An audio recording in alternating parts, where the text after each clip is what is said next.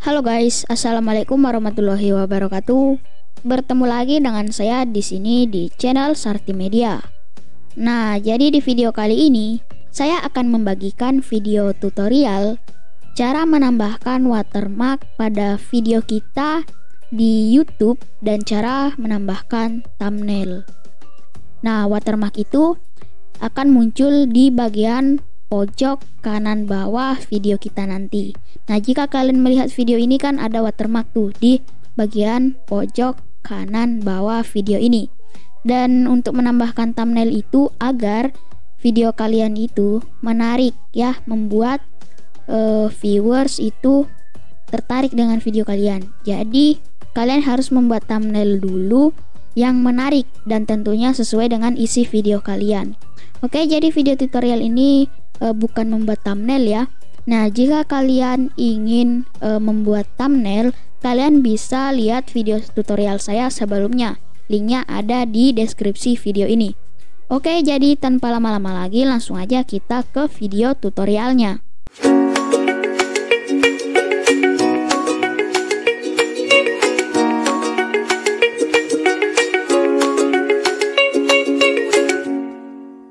Oke guys, nah langsung saja kita buka dulu browser Google Chrome untuk membuka YouTube. Kita klik YouTube. Nah, selanjutnya di bagian pojok kanan atas di sini kalian klik ya akun channel kalian, lalu kalian pilih YouTube Studio. Nah, jika kalian pengguna HP, kalian juga bisa ikutin cara ini. Kalian buka YouTube di Google Chrome terus kalian aktifkan dulu situs desktopnya Oke? Kemudian kalian miringkan HP-nya jadi nanti muncul seperti ini. Oke ini adalah tampilan awal channel kita.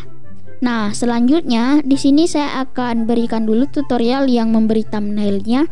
Nah untuk memberi thumbnail ini cukup mudah. Nah pertama-tama di sini kalian ke menu konten di sini. Lalu kalian pilih konten yang sudah kalian upload, kalian pilih konten mana yang ingin kalian beri thumbnail. Nah, misalnya konten ini, nah di sini sudah jelas ada tulisan thumbnail. Oke, dan di sini jika kalian nggak punya thumbnail, kalian bisa langsung pilih yang di sini nih. Tiga di sini ya tiga macam. Nah, jika kalian sudah membuat thumbnail, kalian bisa pilih upload thumbnail ini. Lalu kalian bisa pilih uh, thumbnail yang kalian buat. Nah, ini dia thumbnail yang saya buat. Oke, kita klik open.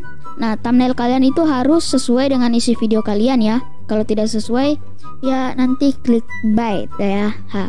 Nah, di sini kan cuman contoh aja ya, cuman contoh aja. Jadi nggak apa-apa di sini nggak sesuai.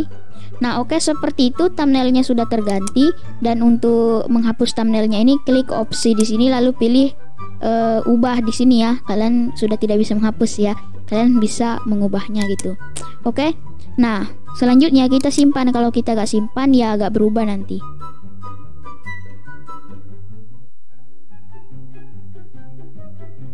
Nah, di sini ada tulisan perubahan disimpan.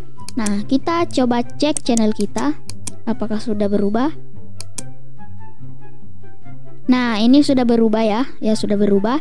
Nah, kita close lagi. Nah, kemudian untuk menambahkan uh, watermark di video kita. Nah, watermark ini pada video kita itu ada fungsinya juga. Jadi saat watermarknya diklik ya kan di bawah pojok kanan ini ada watermark nih. Nah di situ jika kalian klik nanti kalian bisa subscribe ke channelnya.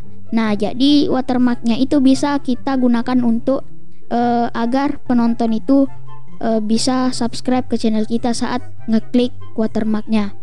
Nah, oke okay, cara memberi watermarknya seperti tadi di menu-menu di sini kalian scroll ke bawah, lalu kalian pilih penyesuaian. Nah, di penyesuaian ini kalian pilih branding. Nah, di sini sih sebenarnya ada banyak menu yaitu untuk mengganti foto profil dan gambar banner.